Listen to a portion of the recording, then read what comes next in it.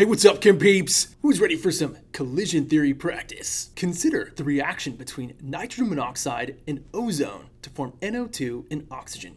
Only those collisions in which the N atom of NO collides with one of the terminal O atoms of ozone are likely to produce NO2 and O2, even if the molecules collide with an energy that's greater than the activation energy. Which of the answer choices best represents an effective collision of NO and ozone? First, let's identify which of the reactant molecules represents NO and which represents ozone.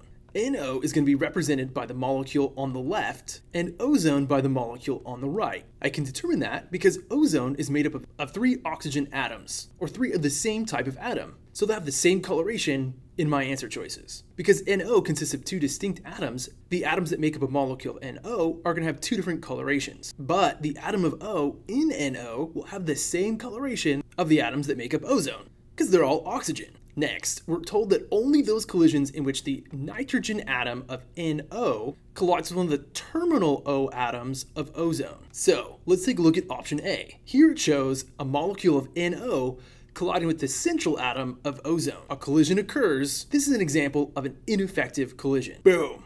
Wrong answer. Let's look at answer B. Here, the nitrogen side of the NO molecule is striking the central oxygen atom in ozone. Now, we want the nitrogen side of NO to strike ozone, but it needs to strike the terminal atom. Incorrect, not an effective collision. Answer C. Nitrogen of NO collides with terminal atom of ozone. Collision occurs, we form NO2 and oxygen. This one's looking golden. But let's double check the last answer. Here, the oxygen end of NO collides with terminal oxygen in ozone, unlikely to result in an effective collision. Based on the description given, we're looking for nitrogen colliding with a terminal atom of oxygen in the ozone molecule to create our effective collision. Done. Now, College Board is in love with particle representations, so you definitely want to be comfortable looking at and thinking about collision theory at the molecular level. Next, Question. The reaction between hydrogen gas and fluorine gas needs energy in order to proceed. To form the product, the bond between H and H in